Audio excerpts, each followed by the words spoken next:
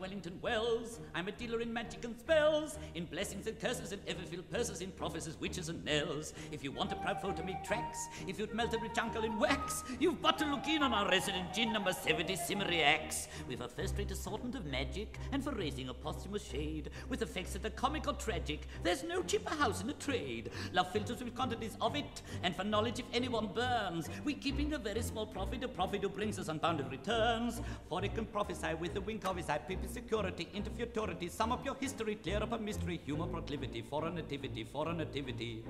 He has answers oracular, bogus spectacular, tetrapods tradical, mirrors magical, facts astronomical, solemn or comical, and if you want it, he makes a reduction on taking a quantity. Oh, if anyone anything lacks, he'll find it already in stacks, if he'd only look in on the resident Djinn number 70 Simmery Axe.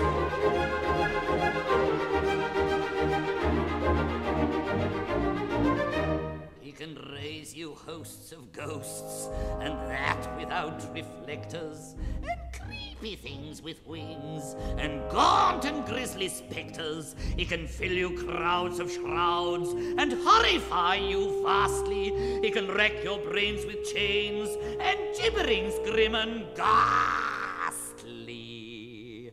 Then if you plan it, it changes organity with an urbanity full of satanity, vexes humanity with an inanity fatal to vanity, driving your foes to the verge of insanity.